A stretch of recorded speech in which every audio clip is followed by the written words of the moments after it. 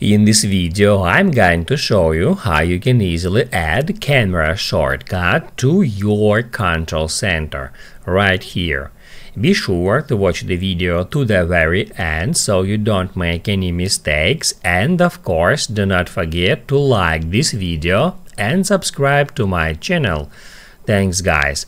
So let's get started and first off head over to settings, then control center and that's where you can easily add camera shortcut to the control center.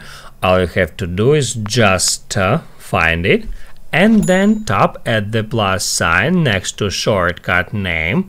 And what that will do that will immediately move camera shortcut to included controls which means that camera shortcut has already been added to the control center.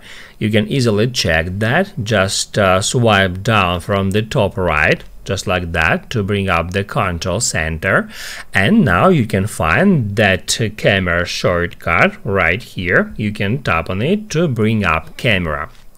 Also from here you can change the order of your uh, control center shortcuts.